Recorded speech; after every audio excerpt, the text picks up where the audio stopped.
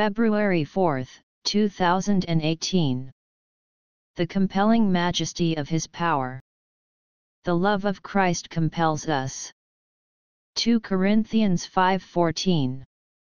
Paul said that he was overpowered, subdued, and held as in a vice by the love of Christ. Very few of us really know what it means to be held in the grip of the love of God. We tend so often to be controlled simply by our own experience. The one thing that gripped and held Paul, to the exclusion of everything else, was the love of God. The love of Christ compels us.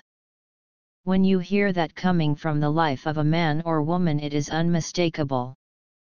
You will know that the Spirit of God is completely unhindered in that person's life.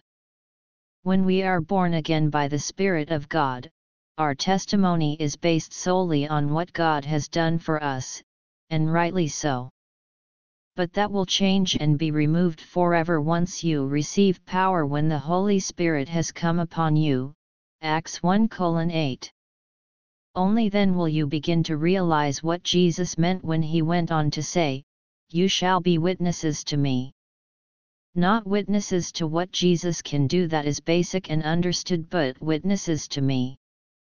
We will accept everything that happens as if it were happening to Him, whether we receive praise or blame, persecution or reward. No one is able to take this stand for Jesus Christ who is not totally compelled by the majesty of His power. It is the only thing that matters, and yet it is strange that it's the last thing we as Christian workers realize. Paul said that he was gripped by the love of God and that is why he acted as he did. People could perceive him as mad or sane he did not care. There was only one thing he lived for to persuade people of the coming judgment of God and to tell them of the love of Christ.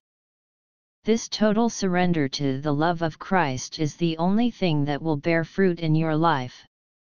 And it will always leave the mark of God's holiness and His power, never drawing attention to your personal holiness.